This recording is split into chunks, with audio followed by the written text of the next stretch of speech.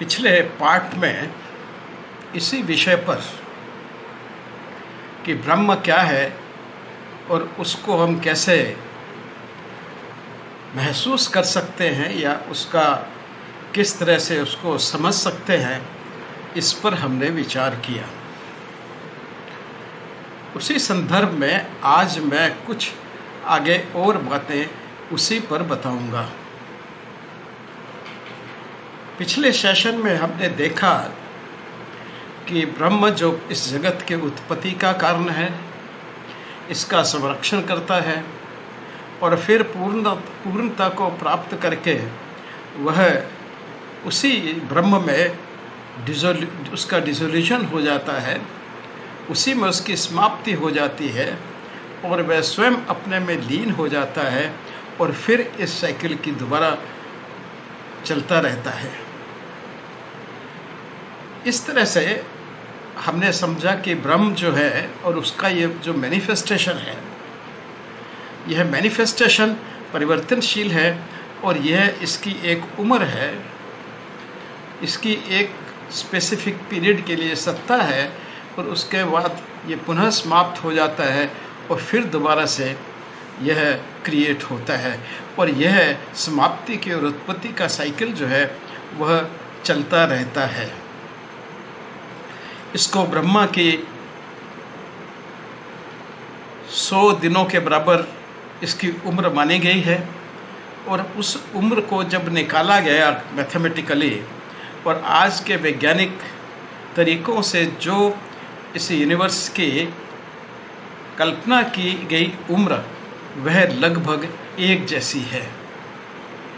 Karl Sagan ने Sagan ने कहा कि यह शायद एक एक्सीडेंटल सिमिलरिटी है। लेकिन मेरा ऐसा मानना है कि यह एक्सीडेंटल सिमिलरिटी नहीं, बल्कि एक सोचा, समझा, निष्कर्ष था जो हमारे सीयर्स ने, हमारे पूर्वजों ने इसी धरा पे इस हाइपोथेसिस का निर्माण किया। और हमारे जितने भी प्राचीन ग्रंथ हैं, उन सब में इनका विवरण किया। वह विवरण बिल्कुल सापेक्ष है। सापेक्ष यानी कि किसी रेफरेंस में बताया जाता है, लेकिन उसके तथ्य बिल्कुल सही हैं। अब प्रश्न उठता है कि इस ब्रह्म को जो इस जगति का उत्पन्न करता भी है और नियंता भी है और उसी में ये स्थित है, उसको कैसे हम जान पाएँ?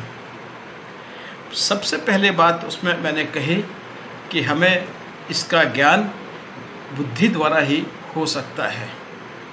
लेकिन हम सब प्राणी अलग अलग तरह की बुद्धि लेकर के जन्म लेते हैं, जो शायद हमारे पूर्व जन्मों के काम पे या प्रवृत्तियों पे या हमारे कर्मों पे निर्भर करता हो। हमने जाना कि एक बुद्धि है जो बिल्कुल शुद्ध बुद्धि है विशुद्ध बुद्धि है जो बिल्कुल सात्विक विचार का है वो हर विचार को समझता है और उसको समझने की शक्ति रखता है। दूसरी बुद्धि तटस्थ बुद्धि है जो कहीं भी इधर उधर कोई साइड नहीं लेना चाहती। वो तटस्थता से सिर्फ़ एक दर्श, दर्श, दर्शक दर्शक की तरह वह देखती है और उसकी नए जानने की इच्छा होती है न ही उस तरफ़ वो प्रयास करता है। उसे हम तटस्थ बुद्धि कहते हैं। तीसरी बुद्धि हमने कहा कि विपरीत बुद्धि है, यानी कि जो हमेशा तर्क का सहारा लेता है रीजनिंग का सहारा लेता है और उस रीजनिंग के आधार पे अपना जजमेंट बनाता है और उसी जजमेंट को वो अपना ज्ञान समझता है। यानी कि प्राप्त तथ्यों के आधार पर जिनको उसने जाना है अपने द्वारा या दूसरों द्वारा, उसके आधार पर हर चीज़ की व्याख्या या उसको मानना, उसकी सत्यता या उसमें झूठे होने का प्रभाव देखता है। तीसरा हमने कहा चौथा हमने कहा कि एक स्वरूपा बुद्धि है, जो व्यक्ति श्रद्धा रखता है, वह दूसरों के विचारों का सम्मान करता है, अपने पूर्व से लिखे गए पूर्वजों का जो विचार है, उस पर भी श्रद्धा रखता है और उसको भी एक्सप्लोर करता है, उसको मानता है। तो ये जो स्वरूपा बुद्धि वाला व्यक्ति है, जो श्रुति पे विश्वास करता है, श्रुति हम इसलिए कहते हैं कि पहले नॉलेज जो है, इस खंड में, भूखंड में, वो लिखने के बजाय मुख से, यानी कि जीभा से, यानी कि शब्दों से, यानी कि लैंग्वेज और मेमोरी के साथ इसको एक जनरेशन से दूसरे जनरेशन में पास किया जाता था। इसलिए वो श्रुति कही, कहलाई, श्रुति यानी कि सुनना। धीरे धीरे उन्होंने इसको लिखना शुरू किया और लिखने के बाद में जैसा हम सब जानते हैं, पहली जो दुनिया में किताब लिखी गई, वो वेद थे और सबसे पुरानी किताब भी हमारी वेद ही है। और उसके बाद में लिपि का विकास हुआ और सब चीज़ें लिखी गई और किताबों का किताबों की उत्पत्ति हुई और हर चीज़ बुक्स में लिखी गई। लेकिन हमें ये जानना होगा कि जो कुछ भी, समझना होगा कि जो कुछ भी हम इस विश्व में सुन सकते हैं, देख सकते हैं, कुछ भी ज्ञान प्राप्त कर सकते हैं, वह सब हमारी जो ज्ञानेन्द्रियाँ हैं, उन्हीं के द्वारा कर सकते हैं। और ज्ञानेन्द्रियों की अप्रोच इनकी पैठ सिर्फ़ मस्तिष्क तक है, ब्रेन तक है।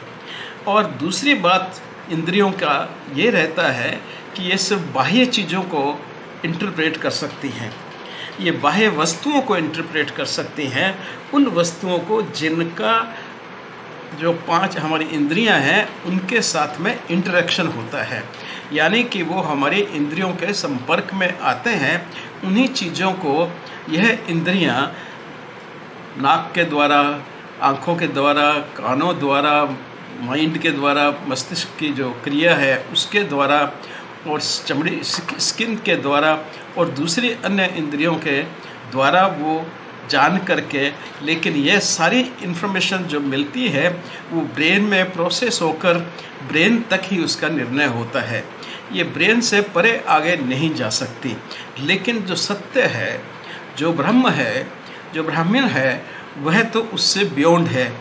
वो तो सब में एक ही है। वह तो सब में एक विद्युत की धारा की तरह सब में एक जैसा ही प्रभावित प्रभावित करता है और सब में वो एक करंट की तरह या एक वेव की तरह सब में स्थित है। वह सर्वव्याप्य है। वो हर चीज़ में है, जीव, निर्जीव में, हर जगह उसकी उपस्थिति है और उसके का, उसकी उपस्थिति के कारण ही यह सब जो विश्व है या यह सब जो आपका दृश्य आच्छादन जो दिखाई देता है हमको, वह सब है। तो उस तक पहुँचने के लिए हमारी इंद्रियाँ इंक्लूडिंग मस्तिष्क या ब्रेन, वो नहीं हैं। तो फिर इनको कैसे अनुभव, कैसे इनका, इनको समझा जाए? उनको समझने के लिए हम अनुभूति का साथ लेते हैं। अनुभूति, यह इन सब इंद्रियों का विषय नहीं है। जो इंद्रियों से बियॉन्ड जो भी हमें एहसास होता है या जो भी हम प्राप्त करते हैं या जो भी एक निर्णय पे या एक एहसास पे पहुँचते हैं, उस सबको हम अनुभूति, अनुभव या एक्सपीरियंस कहते हैं। तो ब्रह्म जो है, वो एक अनुभव का विषय है, वो एक अनुभूति का विषय है, वो एक समझ का विषय है, वो एक एक्सपीरियंस का विषय है, जो ज्ञानेंद्रियों से परे है। जब वो ज्ञानेंद्रियों से है और हमारी अप्रोच इस दुनिया में इंटरेक्शन करने के लिए एक्सटर्नल वर्ल्ड को इंटरेक्ट करने के लिए हमारे पास एकमात्र साधन हमारी इंद्रियाँ हैं। और इंद्रियों से परे हमें जाकर के उस ब्रह्म को या परम सत्य को हमने पहचानना है। तो उस स्थिति में हम सम जो हमारी स्वरूपा बुद्धि है या फिर शुद्ध बुद्धि के साथ में जब हम प्रयत्न करते हैं तो वह प्राप्त किया जाता है। जो तटस्थ बुद्धि वाले व्यक्ति हैं या विपरीत बुद्धि वाले व्यक्ति हैं, वो भी कर सकते हैं, लेकिन उनको बहुत अत्य बहुत ही अधिक प्रयास करना पड़ेगा कि उनकी तटस्थ बुद्धि या विपरीत बुद्धि हमेशा रास्ते में आकर खड़ी होगी। कि विपरीत बुद्धि वाला व्यक्ति, वो हमेशा तर्क से बात को समझना चाहेगा साइंटिफिक स्टेटमेंट से या साइंटिफिक फैक्ट से उस चीज़ को समझना चाहेगा, उसको प्रमाण चाहिए, वो बिना प्रमाण पे किसी चीज़ पे विश्वास नहीं कर सकता। कि उसमें श्रुति के प्रति श्रद्धा या दूसरों के एक्सपीरियंस के लिए कोई श्रद्धा नहीं है। लेकिन यहाँ तो प्रश्न अनुभूति का है, जिसको न एक्सप्लेन किया जा सकता है, न बताया जा सकता है, वह तो केवल मात्र एक दूसरे व्यक्ति को अनुभूत कराई जा सकती है, उसके द्वारा ही। और वह अनुभूति भी इंद्रियों से परे है, मस्तिष्क से परे है। मस्तिष्क एक मैकेनिक वर्क है, वो कंप्यूटर की तरह एक फ़ीड किया हुआ प्रोग्राम है। तो मस्तिष्क बिल्कुल एक प्रोग्राम प्रोग्राम्ड वे में कार्य करता है। लेकिन ब्रह्म जो है, वो उससे बियॉन्ड है, उससे अलग है, उससे परे है। तो इसलिए उसको करने के लिए आपको एक ऐसे गुरु की आवश्यकता पड़ेगी, जिसने वह प्राप्त कर चुका है, ब्रह्म को प्राप्त कर चुका है। तो वह अपने एक्सपीरियंस से अपना एक रास्ता बताएगा, वो आपको गाइड करेगा कि आप इस रास्ते पे चलें। वह स्मृति स्मृति से मनन का हो सकता है, मनन से प्रफाउंड मेडिटेशन जो जिसे हम ध्यान कहते हैं निध्यासन कहते हैं, उसके द्वारा, उन प्रक्रियाओं के द्वारा वह आपके, आपकी इंद्रियों से परे आपको ले जाएगा और फिर आपको उस ब्रह्म का, सत्य का आपको एहसास करवाएगा। फिर मैंने कह रहा हूँ कि वह एक मात्र महसूस करने की चीज़ होती है, उसको सिर्फ़ एक अनुभूत किया जा सकता है, अनुभूति की जा सकती है, उसको एक्सपीरियंस किया जा सकता है, लेकिन वो भी एक्सपीरियंस इस प्रकार होता है, ध्यान द्वारा या मेडिटेशन के द्वारा या योग द्वारा, कि जिसको आप दूसरों को एक्सप्लेन नहीं कर सकते। उसको राइटिंग में या शब्दों में आप बयान नहीं कर सकते।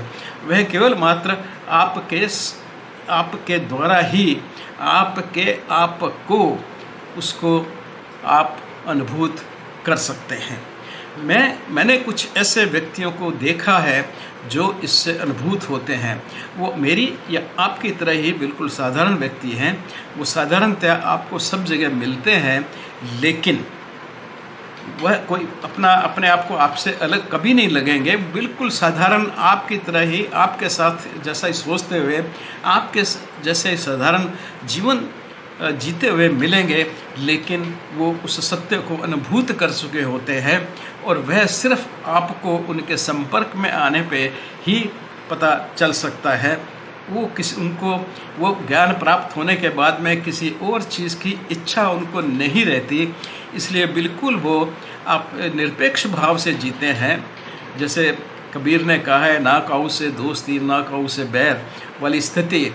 वो बिल्कुल मुक्त भाव से जीवन जीते हैं। बड़े साधारण से तरीके में कोई उनमें ऐसा परिवर्तन नहीं आ जाता कि वो बहुत बड़े सन्यासी बन गए हैं, लोग उनके फॉलोअर्स कर रहे हैं और सब कर रहे हैं। ऐसा कुछ भी उन लोगों में नहीं होता। वो जब आप मिलेंगे तो बिल्कुल एक बाल स्वभाव में बालक की तरह पॉलिटिकल बालक की नहीं, वो पॉलिटिकल बालक तो कुछ अलग होते हैं, वो बिल्कुल बाल स्वभाव वाले, बिल्कुल आपको सीधे साधे और बहुत अच्छे सच्चे आदमी नज़र आएँगे और उस बात को अगर आप समझ जाते हैं या आपको एहसास हो जाता है कि हाँ यह व्यक्ति विज्ञ है, यह व्यक्ति ब्रह्म को अभिभूत कर चुका है तो आप उसके संपर्क में रह करके, उसको गुरु बना करके अगर वो आपको एक्सेप्ट करता है तो शायद उस रास्ते पे ले जा कर के ध्यान के रास्ते पे ले जा के मेडिटेशन के द्वारा या और प्रक्रियाओं प्रक्रियाओं द्वारा आपको ब्रह्म की सत्ता का एहसास करवा सकता है। उसकी अनुभूति करवा सकता है। आपको समझ आने पे कोई आपको सोचे कोई तांत्रिक विद्या प्राप्त होगी या आप बहुत बड़ी, आप में कोई शक्ति आ जाएगी, ऐसा कुछ भी नहीं होता। बाकी जबकि बल्कि आप सब जो आपके पास शक्तियाँ हैं, उन सबको आप निरस्त कर देते हैं, समाप्त कर देते हैं और बिल्कुल निरपेक्ष भाव से अपना जीवन शुरू कर देते हैं। वो बिल्कुल एक बालक की तरह एकदम साधारण व्यक्ति लेके और बड़े साधारण तरीके से इस जीवन को लेगा। उसको न सम्मान की इच्छा है, ना किसी और चीज़ की इच्छा है। जैसा गीता में स्थित प्रज्ञा का वर्णन किया गया है जितात्मना प्रशांत से शीतोषण सुख दुखेशु तथा मान अपमान्य, है ना? तो वहीं पे जो भगवान है या ब्रह्म है, उसकी स्थिति है। वो वहाँ पे स्वयं रहता है। इस प्रकार का वर्णन गीता में आता है। कृष्ण जो अर्जुन को कहते हैं तो उसी भाव से फिर वो व्यक्ति इस जीवन में जीता है। तो ये था थोड़ा बहुत। इसके कारण मैंने पिछले सेशन में ये इनकम्प्लीट रह गया था। इस पूरी बात को मैं बता नहीं पाया था। इसलिए मैंने सोचा, आज मैं उसको थोड़ा सा कंप्लीट कर दे, कर देता हूँ। वैसे ये कंप्लीट अभी नहीं हुआ है। जब और मौका लगेगा तो मैं इस पर ज़रूर बोलूँगा। धन्यवाद।